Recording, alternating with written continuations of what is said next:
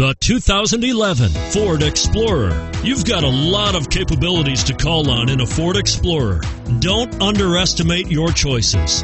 And it's priced below $30,000. This vehicle has less than 20,000 miles. Here are some of this vehicle's great options. Remote engine start, anti-lock braking system, traction control, power driver seat, power sunroof, power passenger seat, dual airbags, airbags, alloy wheels, front air conditioning.